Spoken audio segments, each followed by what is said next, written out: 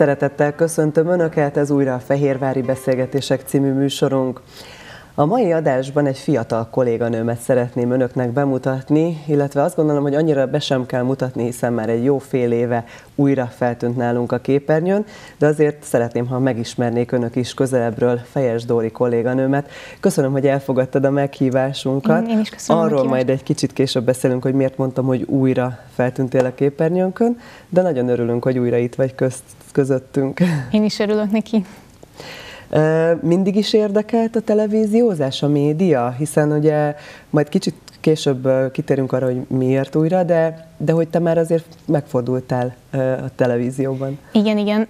Hát Fehérvári vagyok, én is a Telekibanka gimnáziumba jártam, és már gyerekkoromtól kezdve foglalkoztam versmondással, szép kiejtési versenyeken vettem részt, színjátszókörnek tagja voltam, úgyhogy mindig is a, a szerves része volt az életemnek a szereplés, és 2007-ben kerültem először a, a tévéhez, és akkor a Farmazsebb diák műsornak a műsorvezetőjeként, és akkor kóstoltam bele először életemben a televíziózásba, egy három évet voltam műsorvezető, és nagyon élveztem, és akkor döntöttem el, hogy én is szeretnék erre a pályára lépni. Ne rohanjunk ennyire előre, picit térjünk vissza egy, egy nagyon hangyányit az iskolás évekre, illetve a családi életre. Édesanyád látta benned ezt, hogy te neked szerepelned kéne? Vagy te magadtól bizonyára. érezted ezt, hogy... Egyébként anyukám is színész szeretett volna lenni, és később rendezésekkel próbálkozott, és már benne is megvolt ez a szereplési vágy, illetve az, hogy nem ilyet meg a, a kamera előtt vagy a, a színpadon, úgyhogy biztos vagyok benne, hogy ezt tőlem örököltem, és, és a suliban is ő volt egyébként a színjátszó szakkörünknek a vezetője, és szerintem látta bennem, és azt, hogy nem érdek meg a, ezektől a, a szereplési lehetőségektől. Volt, hogy a suliban királykortesnek voltam a műsorvezetője, és, és egészen élveztem, úgyhogy, úgyhogy bizonyára látta ő is bennem többek között. Szóval azt jelenti, hogy mondjuk kiskorodtól kezdve mondjuk nagyon jól tanultál szövegeket? Mert ugye ahhoz azért kell egyfajta ilyen adottság is, hát hogyha verseket, igen, foglalkozik valaki. Verseket jól tanultam, inkább az, hogy szerettem így a kamera előtt létezni, meg szerepelni, akár otthon is volt, hogy nem tudom, bemutattam az öcsémet, van is erről egy videónk, ilyen kis vicces videónk, tehát mindig, hogyha kamera előkerült, akkor, akkor én nagyon élveztem ebben bezsegni ebben a világban, és bizonyára ez így kisgyerekkoromtól jött ez a, ez a dolog, úgyhogy Egyébként a gyerekkorod emellett a, milyen volt? Most azt, az, ezt félretéve, hogy mondjuk azért nyilván ez sok tanulással is járt. Jó gyerek voltál mindig? Mi minden foglalkoztatott? Hát eléggé teljesítménykényszeres gyerek voltam, meg vagyok még mindig ö, egy teljesítménykényszeres ö, ember. Ö, hát ez több dologból is fakad, bizonyára meg szerettem volna én is felállni otthon, meg most már magamnak is felállítok ilyen ö, különböző célokat, amiket el szeretnék érni, meg bebizonyítani, hogy, hogy alkalmas vagyok feladatokra. Úgyhogy ö, szerintem ebből is fakadhatott az, hogy mindig mindent maximálisan igyekeztem megcsinálni, akár a suliban, vagy később a munkában. Úgyhogy a gyerekkorom is ennek jegyében telt. No és akkor beszéljünk arról, hogy hogy jött a lehetőség, hogy a Fehérvár TV-hez kerültél annak idején. Hát annak idején kezdetben a, még a Suplics Zsolti volt a felelős szerkesztő, és megnéztem ezt a Farmer adást, és hát jelentkeztem, hogy én is szeretnék részt venni, vagy csak akár csak megnézni, és utána adott nekem egy olyan műsorvezetési lehetőséget, és az jól sikerült, úgyhogy akkor ott maradtam, és három éven keresztül voltam ott műsorvezető, és hát nagyon élveztem, utána később én is behúzhattam színjátszós ismerősöket, és, és kialakult a saját kis farmerzsebes köröm, és nagyon jól éreztem magam, meg a többiek is, tényleg azóta nagyon sokszor szívesen emlékszünk vissza ezekre az évekre. Úgyhogy hát nagyon-nagyon jó része volt az életemnek a farmerzseb. Hát arra emlékszem, hogy én Hát nem tudom, hogy mondhatom-e, hogy körülbelül annyi idős lehettem, mint amikor úgy nagyjából összehozott minket is az élet. Igen. Ugye én is akkor találkoztam veled először, és azt tudom, hogy sűrűn jártatok be, és csináltatok, igen, én ugye igen. más csináltam. Igen. Kicsit úgy néha elmentünk egymás mellett, igen. de azért néha ugye egymásba botlottunk. Ne, nektek ez mennyi munkával járt?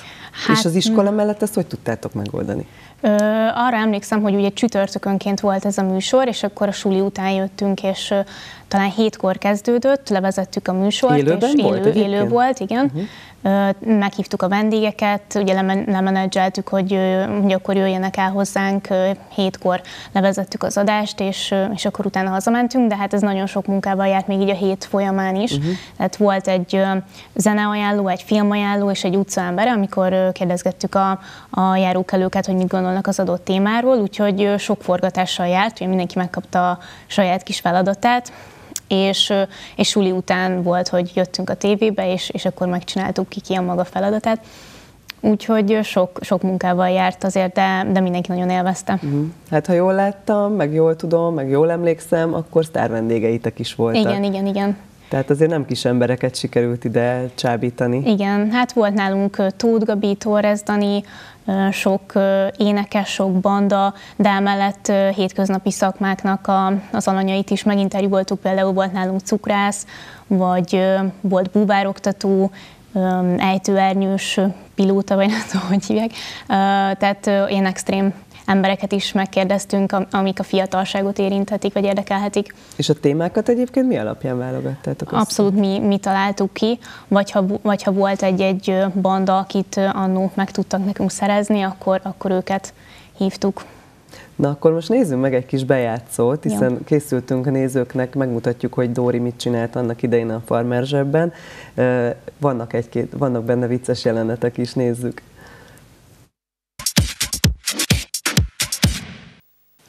Sziasztok! Minden héten csütörtökön este fél héttől hétig Farmerzseb, itt a Fehérvár TV-ben. Hétről hétre rengeteg érdekes témával és vendéggel várunk benneteket a képernyő elé. Nézzetek bennünket, mert a Farmerzsebbe sok minden belefér. Sziasztok! Sziasztok! Mai vendégünkről azt hiszem kijelenthetjük, hogy a női szívek megdobogtatója. Ah, köszönöm Dóri, de hát én minden nap itt vagyok, ráadásul nem is vendégként. Jaj, Peti, nem rólad beszéltem. Akkor? Inkább figyelj. Műsorunkban köszönhetjük Torres Dániel. Ja, róla beszéltél. Sziasztok. Szia, Sziasztok. Azt hittem ellophatom a szerepedet, de hát ezek szerint ne. Hát figyú, én sem vagyok színész, úgyhogy egészségedre. Egészségedre. És egyébként szimbolizál valamit, hogy minden változik körülötted, csak te vagy állandó a klipben? Ez egy nagyon jó kérdés, és nagyon jó meglepés. Végre egy értelmes kérdés egy interjúban, tényleg nagyon. Hát igen, van ebben is valami, hogy hogy, tehát, hogy, hogy az emberek körülöttünk elmennek, jönnek, mennek barátok, rossz indulatú emberek, viszont te mindig maradj meg olyannak, amilyen vagy. Na gyere Peti, játsszuk le. Oh. Ugye tudjuk rólad, hogy 18 évesen kezdtél el foglalkozni az írással, akkor írtad az első könyvedet, amit rögtön ki is adtak. Milyen hatással volt rád, hogy ennyire sikeresnek bizonyult ez a könyved? Hát azért írtam ezt a könyvet, mert nem vettek fel egyetemre, és szomorkodtam a munkahelyemen, munkahelyett. Hát sajnos az adás lejárt Köszönjük. az adás idő, de én nagyon de szívesen beszélgettem volna. Igen, és szerintem én legalább annyira jó volt a mai műsor, Szememnek, szívemnek, finom lesz hasonnak, nagyon kedves volt ez a téma. Én köszönöm a meghívást, vigyázzatok egészséggel. További sok sikert az üzletéhez. Igen, köszönjük szépen, köszönjük hogy itt volt. Köszönjük szépen. Köszönöm. Sziasztok! Nektek pedig tartsatok velünk a jövő héten is. Mi meg addig megesszük a tortákat, biztos. most biztos nagyon irigykedtek, de hát ez van. No, hát ez egy fiatalos, lendületes, tényleg jó pofa műsor volt. Mm. Most, ahogy így nézted, azért ez így furcsa, mert mondjuk te egy fiatal csinos nő itt ül mellettem, vagy velem szemben, és azt mondja, hogy tíz év távlatáról beszélünk, azért ez neked is furcsa, igaz? Igen, igen. Akkor ilyen 17 körül lehettél? Ö, hát amikor elkezdtem, 16 voltam, és, és 19 éves koromban fejeztem be, és tényleg olyan fura visszanézni, hogy, hogy ez már 10 éve volt, de, de évről évre előre vesszük egyébként a kis bakiparádét, amit csináltunk a farmásebből, és, és mindig megnézzük, és nagyokat mosolygunk rajta, meg, meg ráírunk egymásra, hogy emlékszel, mikor az volt, hogy meg milyen jó időszak volt a farmásebb, úgyhogy mindenkinek egy nagyon jó emlék. Egyébként így akkor ezek szerint tartjátok a kapcsolatot igen, egymással. Igen, Kik igen. voltak még a műsorvezetők? Mert most itt, ahogy néztük a bejátszást, azért mondtál egy-két nevet Igen, közben. hát Németi Ildi volt az egyik, aki egyébként még a mai napig az egyik legjobb barátnőm, úgyhogy vele, vele tényleg mind, nagyon sokszor szoktam találkozni. Sújtó Attila volt, aki azt hiszem, hogy tanári pályára lépett, uh-huh. és Óvári Peti, akiből pedig orvos lesz, és most fog megszületni az első gyereke, úgyhogy... És a, a, a fiú, aki melletted ült? Ő az Óvári ő az Peti, Óvári. igen. Igen, mert nem, nem emlékeztem rájuk, igen, csak igen, így igen, igen. látásból ismertem őket, mert mindig elmentünk, elrohantunk, ugye ti mindig akkor jöttetek, igen, vagy a, ti igen. jöttetek ki, amikor mi jöttünk híradozni, igen, és a többi. Igen, igen, igen. Úgyhogy mi mindig csak váltottuk igen. egymást. Meg hát az évek során nagyon sok ember megfordult ott, úgyhogy nem mindenkivel tartom a kapcsolatot, de sokan voltunk. Miért lett egyáltalán vége ennek a műsornak, hiszen nagyon sokáig ment. Még azért előttetek is volt egy jó pár éve ennek a műsornak. Mire hát emlékszel? én nem tudom egyébként, hogy miért lett vége. Azt tudom, hogy talán a nyugdíjas műsor népszerű volt egy kicsit, és miatt kellett levenni a képernyőről de, de nem tudom, hogy, hogy mi volt az oka, már nem is emlékszem rá, de arra emlékszem, hogy annó nagyon sajnáltuk, hogy vége lett és egy hatalmas nagy űrt hagyott az én életemben is, amit utána sokáig nem is pótolt semmi, és most újra a híradózás. Mhm. Jó, hát erről is beszélünk még, de ugye itt akkor te gimnázium éveidet töltötted, utána merre sodort az élet? Hát úgy gondoltam, hogy amikor érettségiztem, hogy nekem ez az utam, a tévézés, úgyhogy én a Budapesti Műszaki és Gazdaságtudományi Egyetemnek a kommunikációs médiatudomány szakára jelentkeztem, és ide is nyertem felvételt, és az alapszakot, mesterszakot itt csináltam meg és utána dolgoztam még televízióban, egy országos televízióban, de, de valahogy azt éreztem, hogy az, az nem az én világom. Na, erről mesélj azért egy picit. hát eleve a helyi, helyi televízióban valahogy így jobban megtaláltam önmagamat, meg a, a közeg is számomra sokkal valahogy kedvesebb és inspirálóbb volt, mint az országos televíziónál, ahol így elég személytelenül mentek a dolgok, és mindenki csak a saját kisönös érdekével foglalkozott, úgyhogy, úgyhogy én úgy éreztem, hogy ez nem az én világom, és, és a gyakornokságomat ott töltöttem, de végül teljesen más irányba sodort az élet és, és végül a, a Magyar Olaj és Gázipari Vállalatnál kötöttem ki, és ott voltam marketing kommunikációs gyakornok, és a friss diplomás, és, és akkor ott is kezdtem el dolgozni, mint marketing szakértő, marketing uh-huh. kommunikációs szakértő, úgyhogy egy kicsit más irányba vitt az élet, és, és akkor így most érhetett vissza a tévézés az én életembe. Egy picit térjünk vissza, engem még ez az országos média érdekel, hogy ugye akkor lehetőséged volt bepillantást nyerni egy ilyen országos tévébe, igen, aminek igen, elmondtad igen. ugye a hátrányait, azt ugye azért igen. sejtettem, de milyen feladataid voltak? Ö, online kommunikációs gyakornok voltam, tehát mi a, az online felületet menedzseltük, illetve akkor volt egy táncos műsor, éppen, ami, amit forgattak, és szombatonként rendszeresen be kellett mennünk, és forgatni, interjúzni a, a táncos műsornak a résztvevőivel, és akkor ezeket megvágni, és felraktuk online, tehát voltak azért benne uh-huh. nagyon jó dolgok, tehát amikre volt szívesen része, emlékszem vissza, persze, igen. Tudtál tanulni. Igen, igen. Uh-huh. akkor kicsit a vágásba is belekóstolhattam, híreket írtam az online felületre, úgyhogy ilyen, ilyen feladataim voltak. Ez egyébként ez is hasznos volt, mert később az online marketingben is tudtam ezeket hasznosítani, meg, meg hát mégiscsak volt gyakorlatom benne, akár a kérdezést tekintve, vagy nem is lett volna egyébként lehetőség arra, hogy ott maradj, vagy te nem akartál? Én nem akartam, és egyébként akkor mentem is egy csereprogramra, egy fél éves Erasmusos csereprogramra a Németországba, Dresdába, úgyhogy, úgyhogy akkor így vége is szakadt annak. Lett volna lehetőség arra, hogy ott maradjak, de így végül, mikor hazajöttem, akkor nem mentem vissza. Mm. Na és hogy jött ez az Erasmus program? Ez egy nagyon jó lehetőség Igen. egyébként szerintem. Én ezt a, hány fronton tudom, hirdetem, és nagyon szeretném, hogy egyszer az én gyerekeim is Igen, ki tudnák jó. használni ezt a lehetőséget, mert nagyon jó és nagyon fontos. Akkor ezek szerint a német nyelvet Igen, igen, én német nyelvterületen voltam, igen. Egyébként azért is nagyon jó volt, mert németül tanulhattam kint, meg hát ugye angolul beszéltünk a többi külföldi cserediákkal. Hol voltál helyileg? Dresdában voltam, ja. Németországban, és hát egy ilyen önálló életvitel az, amivel ott gazdagodtam, vagy amit így elsajátíthattam, és nagyon sok külföldi barátom lett, és, és egy, hát egy olyan kisvárosban élhettem, ami így a második otthonom lett utána, vagy a második hely, ahol a legtöbbet éltem valaha, úgyhogy ez mind, mindez meddig tartott? Fél évig. Uh-huh. És ez akkor ilyen cserediák program volt, tehát akkor azt úgy kell elkezdeni, hogy családhoz kerültél? Ö, nem, ez nem? olyan volt, hogy, hogy egy kollégiumban laktunk, és jártunk egyetemre, és aztán az egyetemi óráinkat pedig elszámoltathattuk ah, a hazai egyetemen, tehát kollégiumban. Uh-huh. Ó, tehát akkor még ráadásul tanultál is. Igen, az tanultunk. Nagyon, nagyon Igen. jó. Igen. Nagyon fontos. És Igen, nagyon angolul, angolul voltak az óráink. És akkor ott esetleg mennyire tudtad a, a környéket felfedezni? Abszolút. Dresdát nagyon, nagyon sokat kirándultunk, futottunk, van egy nagyon szép park, ahol, ahova sokat jártunk, kastélyok, úgyhogy egy nagyon szép helyről van szó. Van egy régi városrésze, meg egy új, és, és egy sokat kirándultunk is, voltunk Lipcsében, a környező német településeken, és én annó Prágába is eljutottam onnan, illetve Ausztriába is sielni, és Hollandiába is, úgyhogy sok helyre, sok helyre kirándultam akkor.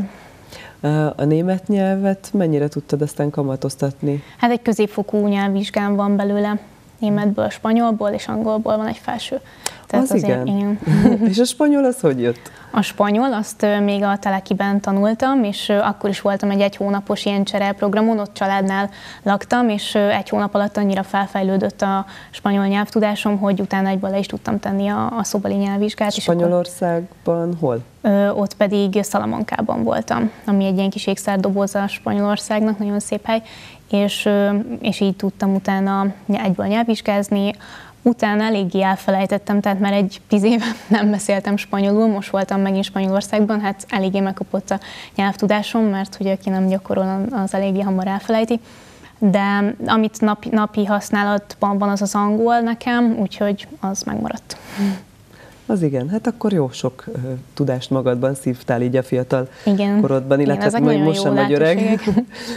uh, jó, uh, ezen kívül ugye van egy nagyon nagy szerelem az életedben, még egy kicsit majd a televíziózásra visszatérünk, de ugye a sport az, amit talán nézőink nem tudnak még rólad, uh-huh. illetve hát már felfeltűnt rólad egy-egy hír, igen, ugye igen. volt a sportpercekben is már egyszer igen. egy hír rólad, amiről mindjárt beszélünk, és ha jól tudom, azért már te is magad is készítesz egy blogot. Igen, igen, én is Amiben egy ugye azért lehet olvasni igen. rólad, hogy, hogy mikre készülsz éppen.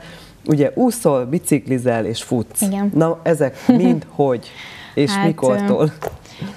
Már kiskorom óta szerves része az életemnek a sport, és kezdődött ez egy úszással, illetve balettozással, meg később jazz balettozással, és utána sok mindent kipróbáltam, például szinkronúztam is, de az, ami így mindig velem maradt, ez a három sport, ez a futás volt, a biciklizés és a, az úszás, illetve a futás az később jött, az már egyetemista koromban, mert tényleg gyűlöltem futni általános iskolában és kémiben is, így a Cooperrel engem riogatni lehetett, mm. és egyetemista koromban mentem egyszer el futni anyukám tanácsára, mert kicsit úgy éreztem, hogy nem, nem, nem érzem jól magam a bőrömben, felszettem egy pár kilót, és ő mondta, hogy miért nem megyek el futni. És akkor még én nem is értettem, hogy én futni, hát biztos, hogy nem, és elmentem, és egyébként nagyon rossz élmény volt, és akkor megfogadtam, hogy soha többet nem megyek el futni, de mondta anyukám, hogy ha átlépek egy bizonyos határt, akkor utána sokkal könnyebb lesz, és sokkal jobban fogom élvezni, és hozzászokik a szervezetem is a futáshoz, és már igényem lesz arra, hogy, hogy fussak és naponta. És mennyi jött el ez a pont? Hát én úgy emlékszem, hogy elmentem egy olyan mondjuk tízszer, mire azt mondtam, hogy most már tudom élvezni, és egyre jobban bírom, mert kezdetben minden bajom volt, tehát így a levegővétellel volt Hú, ebben problémáim. akkor szeretnék egy kis tanácsot kérni, mert nekem Jó. ugyanez a problémám. Igen. Hogyan lehet ezt át, hogyan lehet ezen átlendülni? Hát én kezdetben ilyen három kilométerrel kezdtem a futást, és már azt, azt is nagyon nehezen bírtam. Aztán elmentem többször a három kilométerekre, és a végén felemeltem négyre, és akkor az, ahhoz próbáltam így hozzászoktatni magam. Hát annyi, hogy lassan futottam akkor, tehát így a saját kis lassú tempómban kocogtam, és egy idő után tényleg hozzászokott a tüdőm. Nekem a, egyébként a levegővétel volt a legrosszabb, mm. mert állandóan beszorult a, a mm. levegő, és utána hozzászokott a szervezetem, és, és valahogy rá, ráálltam erre a futásra, és tényleg úgy működik, mint a, a, egy függőség, hogy, hogy, hogy egyre többet igényelek belőle, és most pedig már a maratoni felkészüléskor volt, hogy szombaton is futottam 20 kilométert, és vasárnap is, és, és nagyon jól éreztem magam, meg így tényleg így most, most kevésbé érzem magam jól, mert igényelném ezeket a hosszú távokat. Uh-huh. Úgyhogy nagyon érdekes. No, most ezt ugye kimondtad itt közben, hogy mi, miken mentél keresztül. Közben megkérem majd a kollégákat, hogy mutassunk is képeket ezekről a font, számodra fontos momentumokról. Jó. Hiszen hát itt ugye minden volt, mesélj sorrendben valahogy, mik történtek veled, hiszen volt itt Ultra Balaton, Az előző, a legutolsó az ugye egy maraton volt, igen. tehát itt azért neked azért ebből már nagyon sikerült kikeveredned, amit mondtál igen, a kezdeti igen, nehézségekből. Igen, hát Sőt. amikor, amikor hozzászoktattam magam a futáshoz, akkor először egy fél maraton volt az, amire, amire beneveztem, és, és egyébként utána, tehát azt nagyon nehezen bírtam, és utána úgy éreztem, hogy meghalok, és soha többet. És aztán utána egy, mégis futottam még egy félmaratont, meg egy ultrabalatont, és, Közben most úszásképeket is Igen, igen, ez, ez már egy triatlonos verseny, amire tavaly ősszel neveztem be, pont a három sport szeretete miatt. Itt, épp, itt éppen a, a depózásomról láthattok egy képet, illetve a biciklizésről. Ugye ez másfél kilométer úszás volt, 40 kilométer biciklizés és 10 kilométer futás. És a hősök terére érkeztünk meg. Um, Hát igen, ezután is eléggé ki voltam, és utána döntöttem el, hogy felkészülök a maratonra, és erről el is kezdtem vezetni egy blogot a felkészülésemről, hogy, hogy másokat is inspiráljak, illetve hogy, hogy mm, megtapasztalhassák azt, hogy egy amatőr futó hogyan készül fel egy ilyen nagy eseményre. És én is nagyon szerettem kiírni magamból a gondolataimat, és akkor tavaly áprilisban jött el ez a, ez a maraton Rotterdamban, amikor lefutottam, és maratonista lehettem én is. Úgyhogy most a képeken egyébként Rotterdamot láthatjátok, uh-huh. amikor itt a barátommal futottunk. Egyébként azért Rotterdam, mert ő kint tanul és, ja, és, és ezért, él, igen, és ezért döntöttem én is úgy, hogy, hogy ott lefutom. Ez az Erasmus híd, ez hát, pedig a tengerpart. Igen, egyébként a fotók is, amiket szoktunk rólad látni, szinte művésziek, meg hát az írásaidat olvasva egyébként én azt látom, hogy azért lehet, hogy foglalkozhatnál ezzel is, nem gondoltál Nagyon szeretek rá írni, írni egyébként. Szeretem azt, hogy ki tudom magamból írni a gondolataimat, sokszor már futás közben is fogalmazom azt a, a következő blogbejegyzésemet, amiről szeretnék majd írni, vagy ilyen új ötletek jönnek, hogy miről írhatnék még és, és ez nekem is sok erőt adott, hogy, hogy kiírhattam magamból, és a visszajelzések is nagyon pozitívak voltak, és sokszor rám írtak emberek, hogy de jó, hogy, hogy olvashatnak a maratonnak az árnyoldalairól is, vagy hogy, hogy milyen sérüléskor futni, vagy hogyan lehet átlendülni mentálisan és fizikálisan is egy ilyen sérülésen, vagy mi van a fejemben akár egy, egy fél maraton vagy maraton közben, Úgyhogy ezek mind, mind nagyon sok erőt adtak, és új lendületet, és, és élveztem ezt a blogírást is, és szeretném is folytatni. Egy-egy ilyen versenyre egyébként hogy történik a felkészülés? Hát ugye az előbb mesélted, hogy azért Budapesten dolgozol egy nagy vállalatnál. Igen azért ott van egy munkaid, bizonyos munkaidő, igen. amit le kell ugye tölteni, és akkor, akkor te ezen kívül minden, minden áldott nap, ja hát igen, a tévéről még nem is ejtettünk igen. szót, azt azért még nem felejtjük el, de hogy ugye munka után akkor neked akkor van időd nyilván futni, igen. és minden más csinálni, és nyilván azért az egy tudatos felkészülést Igen, abszolút, igényel. igen. Mm, ugye áprilisban volt a maraton, és októbertől kezdtem a felkészülést, mivel elég hamar kezdjük ilyenkor, fel kell építeni az edzéseket, egy alapozással kezdeni, és akkor utána a tempótréningeket, úgyhogy én októbertől kezdtem a felkészülést, és munka után mentem elfutni. Van, aki mindig. ebben segít neked? Igen, igen, van egy edző, aki online küldi nekem a feladatokat egy applikáción keresztül, és úgy látom a telefonomban, hogy ma mit kell éppen csinálnom, vagy futnom, és, és akkor úgy, úgy megyek neki az edzéseimnek. És igen, munka után futottam hétfőn, kedden, szerdán, csütörtökön, pénteken akkor nem, mert akkor jöttem ide a tévébe, és hétvégenként voltak a hosszú futásaim. Az egész hétvégém elment erre általában, amikor a maratonra készültem, úgyhogy mert utána regenerálódnom kellett. Úgyhogy volt olyan, hogy, hogy egy programot azért kellett lemondanom, mert annyira ki voltam, hogy fáradt voltam, és éhes voltam, meg minden olyan volt, úgyhogy de megérte abszolút, szóval mm de akkor egy, ezeken kívül neked még fér valami más is az életedben? Hát, Vagy ezek most teljesen lefedik? Ezek áprilisig lefették, most megint lett egy kis szabadidőm. Úgyhogy... Mert hogy már következőre készülsz, hogy így mondtad, hogy kis szabadidőm. Igen, fogok ősszel is tervezek egy maratont, a budapesti maratont futni. Addig még van időm a felkészüléssel, de, de szeretnék formában maradni, úgyhogy most, most biciklizem és úszom és futok, amikor tudok úgyhogy nem álltam le, de nem olyan intenzív, mint korábban volt. kérdezhetném, hogy a párod ezt hogy bírja, de így, hogy kicsit nagy a távolság köztetek, talán nem probléma. Igen, hogy, így még Hogy esténként nem vagy vele, hanem más Igen. szerelmed is van, de jó értelemben vett más szerelmed. és akkor emellett ugye van egy harmadik, illetve most visszakanyarodnánk akkor a televízióhoz egy másik szerelmed is, hiszen megmarad gyerekkorodból Igen, ez a Igen. televíziózás. Ugye nálunk a ha jól tudom, egy fél évvel ezelőtt igen, igen. tűntél fel újra a képernyőn. Ugye megkerested a kollégákat, illetve mi, egy, mi egymást valahogy így megtaláltuk, a kollégák és te minket, igen. és hát nekünk nagyon jól jött, hogy van újra híradósunk, egy fiatal hölgy személyében, aki jól is néz ki, aki tudja a híreket, aki tényleg, tehát én azt látom, hogy, hogy nem tehát, hogy egy, egy okos fiatal lány ül ott, aki érti és tudja, hogy mit uh-huh. mond. És ez nagyon fontos szerintem a hitelességhez, Igen. hogy úgy tud átadni. Úgyhogy benned szerintem egy nagyon jó szemét találtunk hát, erre. Köszönöm szépen. Hogy érzed most magad nálunk? Nagyon jól érzem magam, és tényleg ez az űr, amit említettem neked korábban, ez, ez most abszolút kitölti a híradózás, és egy új szenvedélyem lett, meg az egész tévézés már gyerekkorom óta szenvedélyem volt, és jól érzem magam, kihívást jelent számomra, Korábban még, még extra kihívás volt, hogy, hogy nem tudtam, nem, ebben a műfajban nem próbáltam még ki magam, csak ugye a farmásebb műsorvezetőjeként egy ilyen beszélgetős műsorban, és itt pedig abszolút a kamera van előttem, és mondanom kell a, a híreket, és ami vicces, azt, azt valahogy úgy átadni a közönségnek, hogy, hogy viccesebben, vagy, vagy könnyedebb hír, azt könnyedebben, ami komoly, azt tényleg nagyon komolyan.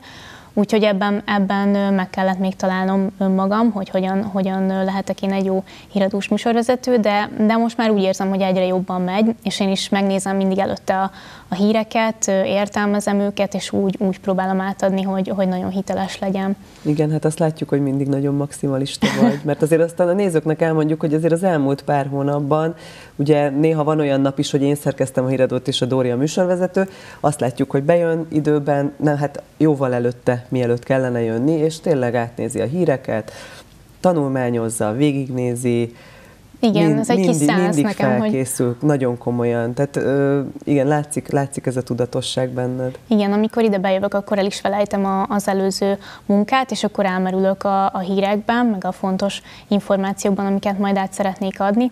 És ö, olyan jó az egész, mert ö, kikapcsol, tehát ö, hiába egy munka, de úgy érzem, hogy a szabadidőmet töltöm itt, és, ö, és nagyon szeretem. És, és szerintem ez egy nagyon fontos és komoly műfaj, mert mégiscsak a lakosságot érintő fontos híreket adjuk át nekik, amik, amik az ő életüket érintik, úgyhogy, úgyhogy örülök neki, hogy végül megtalált engem az a, az a műfaj.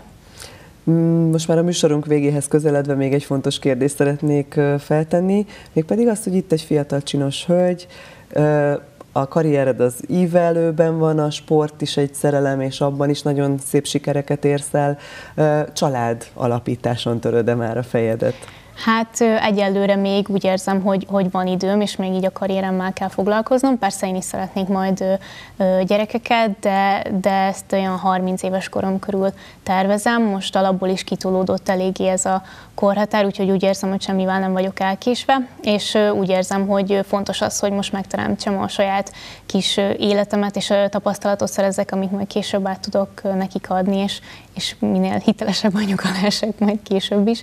De, de egyébként pszichológiát tanulok már egy három éve, és most fejlődés lélektan órán azt éreztem én is, hogy, hogy már azért szerintem fel tudnék nevelni egy gyereket, tehát most, most már tehát azt úgy gondolom, kezd, hogy, kezd hogy jó anyuka lennék. Igen, igen, igen, igen, igen.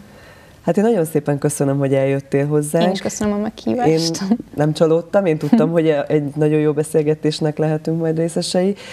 Én úgy gondolom, hogy egy nagyon színes egyéniséget nyertünk mi is, úgyhogy én azt gondolom, hogy maradj ezen az úton. Azt kívánom, hogy legyen sok sikered, mind az sportban, mind az életben, és hát maradj velünk minél tovább Köszönöm itt a Fehérvár Köszönöm szépen, hogy eljöttél. Önöknek, kedves nézőink pedig köszönjük szépen a figyelmet, tartsanak velünk legközelebb is. Szép estét kívánok, viszontlátásra!